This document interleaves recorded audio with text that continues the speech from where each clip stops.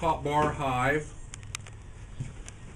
This is the front entrance end of the hive. Mouse guards. These are the wall lugs, floor lug.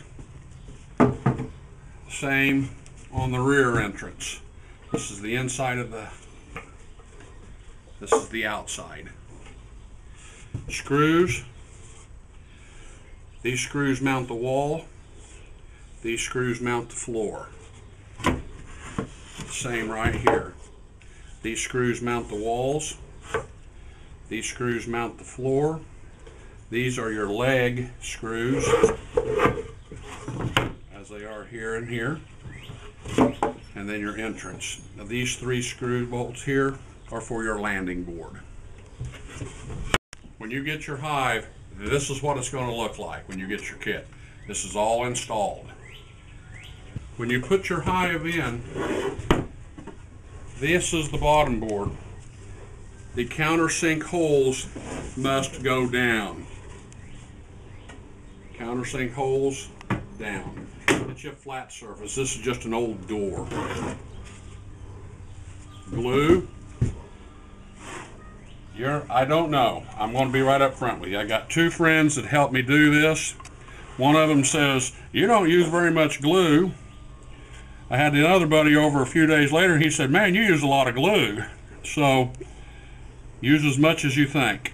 I coat it that way. Coat the, where it's going to meet on the end and the side.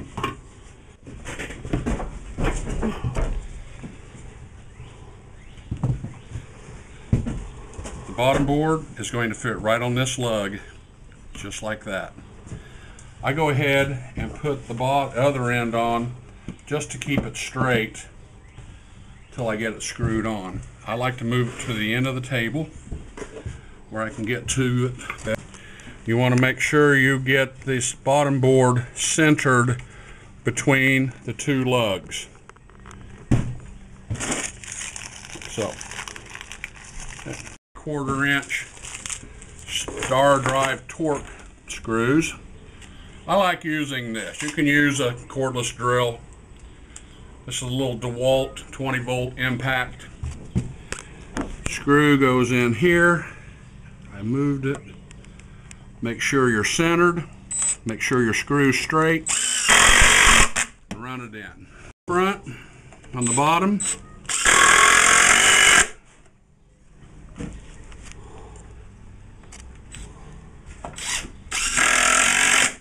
This hive will take about probably 30 minutes to put together is all it's going to take. Turn it around.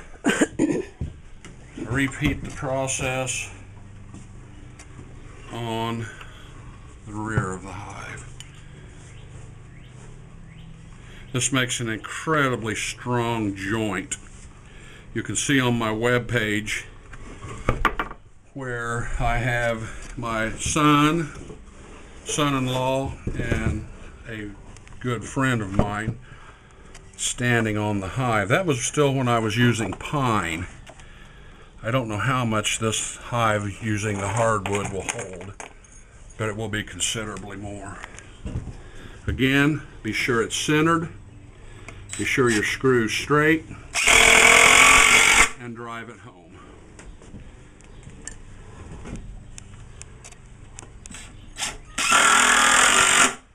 Three screws.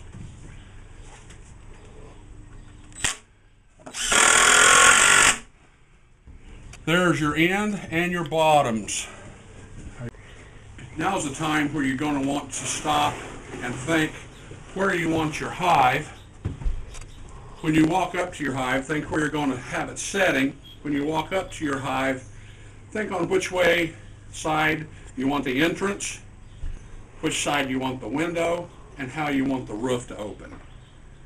I have mine with the window on one side, the hinges for the roof on the other.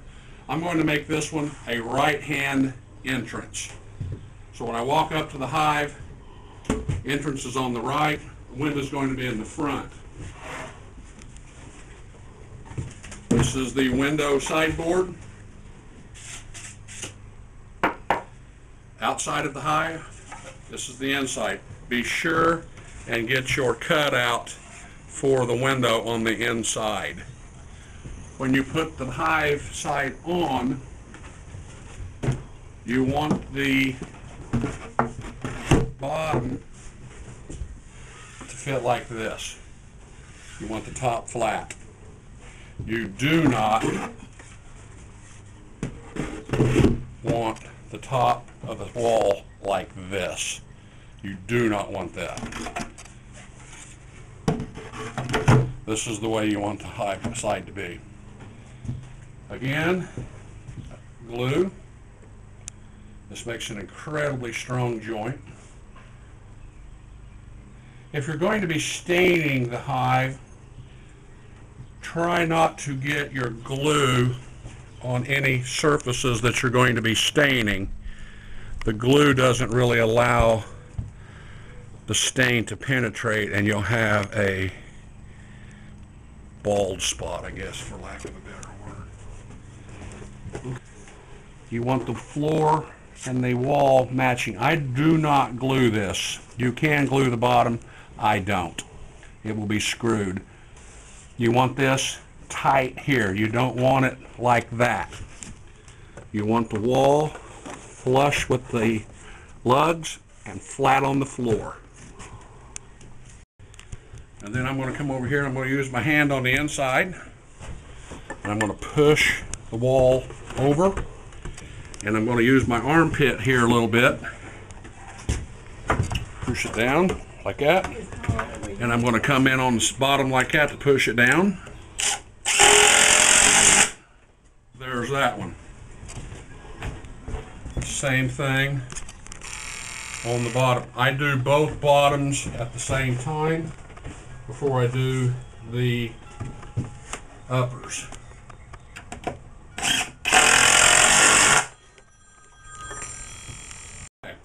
Same thing with this end. I've got it screwed down.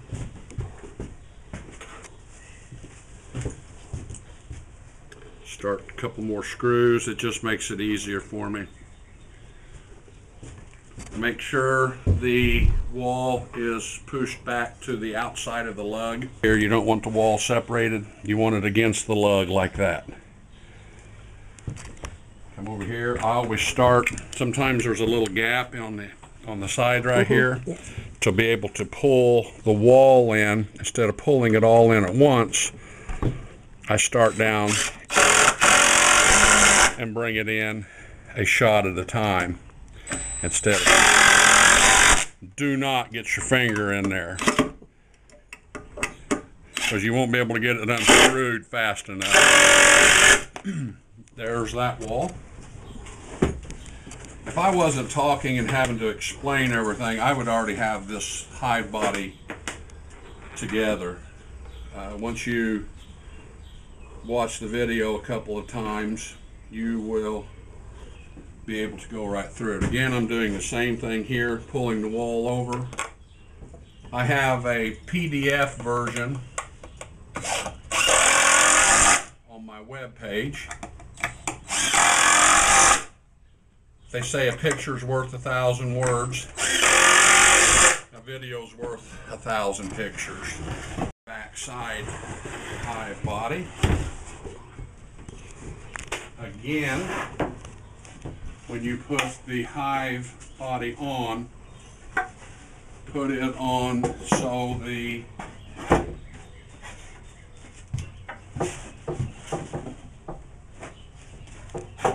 tolerance is so close, you gotta get it in straight.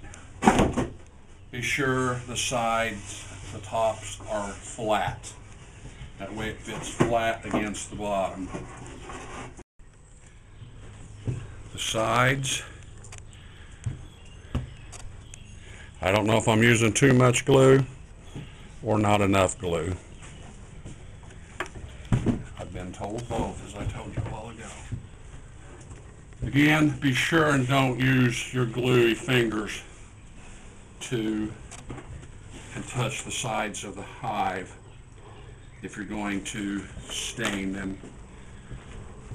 It will make the stain where it doesn't go into the wood. Again, pull the hive body over to the wall. pushing down and in. And drive it in.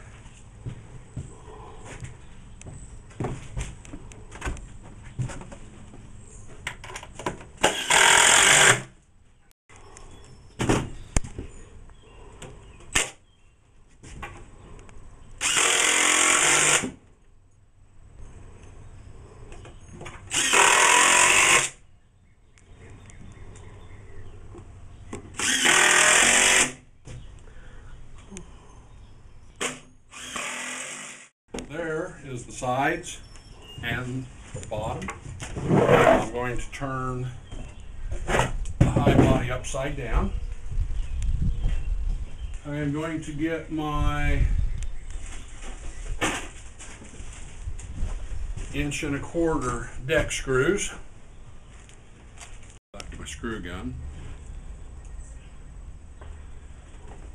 Push down on your high body to the side.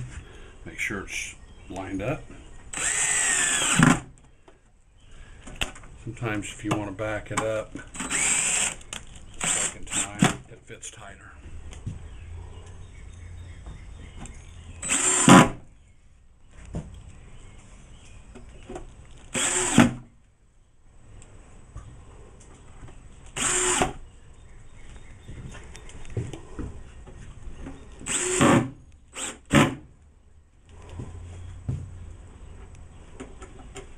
The reason I don't use the star drive on the bottom is I haven't been able to find any in the length that I need.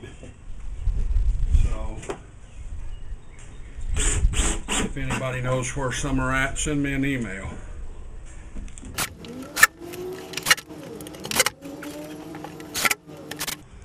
Now we're going to put the bottom rails on for the sticky boards. Um, if you can see, when this lays in here like this, it makes a groove where the sticky boards will slide in like this to cover your bottom up. I always put the long board across the bottom always across the bottom, but always on the front by the window. Makes it cleaner. Okay, see how it's laying? It lays like so. I always line it up with the bottom. It makes a cleaner, better looking hive. This thing's gonna look like a piece of furniture in your yard. That way the sticky board is on the back side of the hive where it's sticking out. It doesn't show like, uh, makes it just more pleasing to the eye. In. Screws. And as I go down through here, I make sure that it is matches the front edge.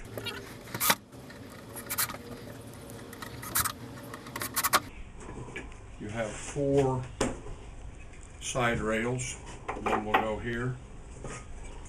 One will go here two in the middle. There is going to be a little gap. I always put the front, the edge of this flush with the rear back here. And stick it down.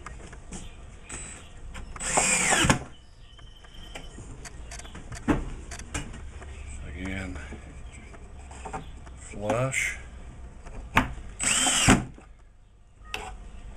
you can see, this isn't some cheap hive made out of particle board and plywood and this is as good as I can make them. I do this, I always put it in the center. You can just do it by eye, you can measure it, I just do it by eye. That way, start my screws.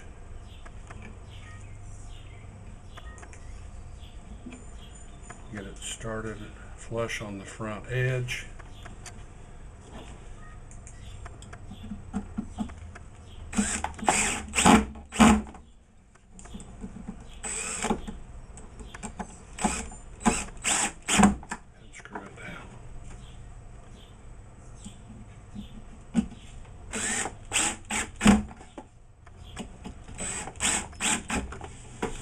There it is. That is your hive body. These are your three screws for your landing board. There is a center screw hole. All I do is I'm going to run that screw out just a little bit. Like so. I do not glue this on.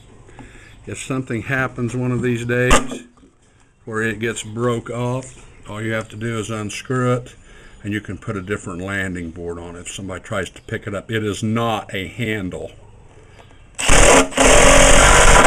On tight. I pick it up.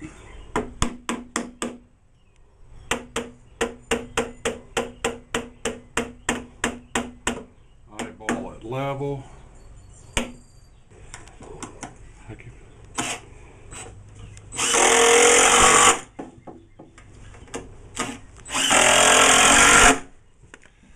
Your hive body is done. Now we'll put the window on. The way I do the window, shutter, hinge, and hardware.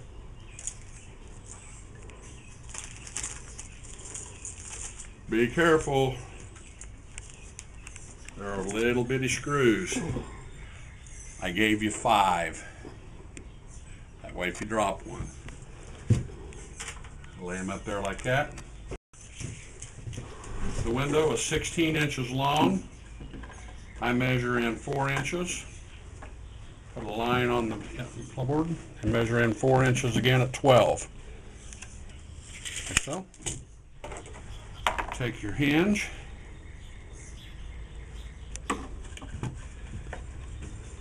You can line the hole up over the line. If you're using something like this to put that tiny screw in, be careful. You'll strip it right out. So.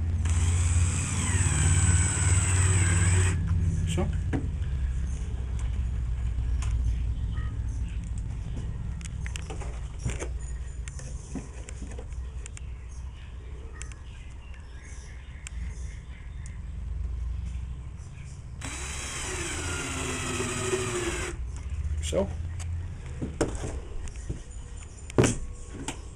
Now, you want to make a tiny mark in the middle of this, which should be at 8 inches, just a little bitty mark.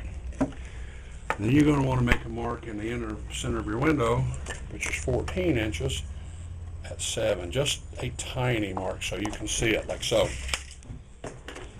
That's going to let you line your window or shutter up with the hole. I'm just lining the two little marks up and you bring it up until your hinges line up with your bottom board. No measuring, no worrying about whether it's straight, square, because it is.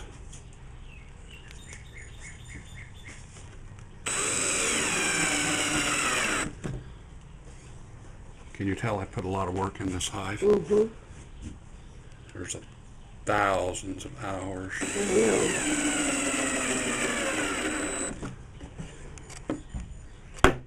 There's your shutter. Okay, now we gotta latch it.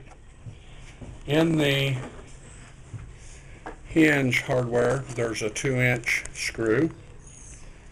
It will go through this. Now I want to show you this. I started making these when I started cutting all the hives out by hand on my Shopsmith. I still do these. These are made out of hardwood, cut freehand by me. So I'm not changing that part on it. So when you see that, it's not computer cut like the rest of it is.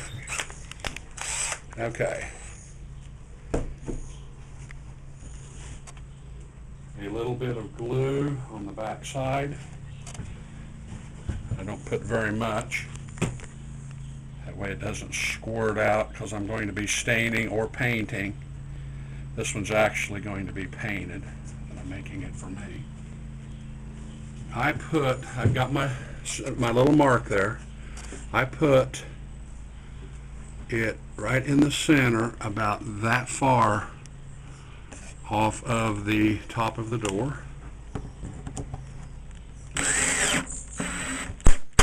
And then run it down. I run it down tighter than I would leave it normally, so the hinge, until the glue dries, I'll back the screw up a little bit. That way, the hinge will move better. Boys and girls, there is your hive body. It is done. Put the screw back in my window hinge and that way I'll have it. That is your hive body. Complete, done. Not bad, huh? Not bad. Thank you.